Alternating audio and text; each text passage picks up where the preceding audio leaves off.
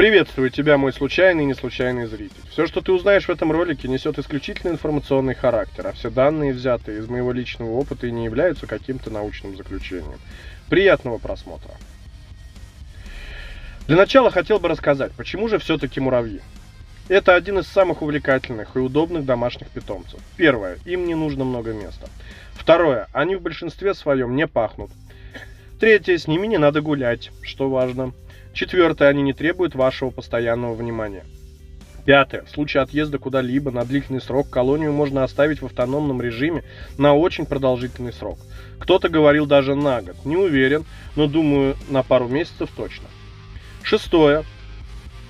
Некоторые виды узнают и перестают бояться человека. Это не связано с приручением, скорее с отсутствием страха и уверенности в своих силах, когда колония достаточно крупная. Седьмое. Каждый новый вид – это абсолютно новое домашнее животное.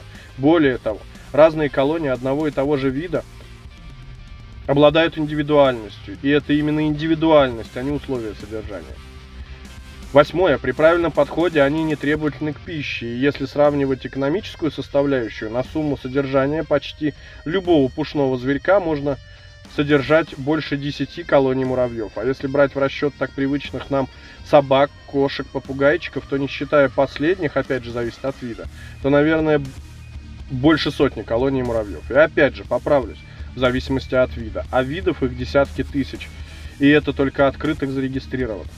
Ну и последний пункт. В сегодняшнем перечислении так-то можно назвать сотни плюсов.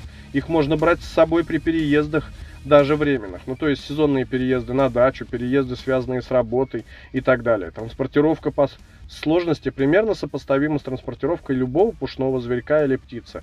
Основное это не сильно заморозить.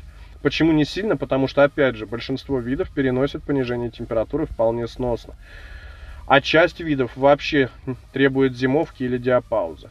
Временно жить при пониженных температурах. Вот первые 9 пунктов, на мой взгляд, наиболее важных при выборе муравья в качестве домашнего питомца. Ну и в заключение хотел бы сказать.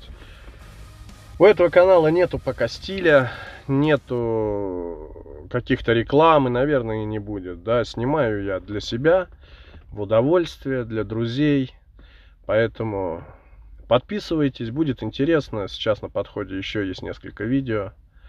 Вот.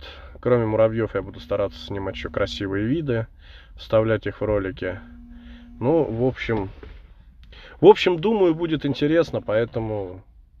Ну, а если нет, значит нет. Всем спасибо за внимание.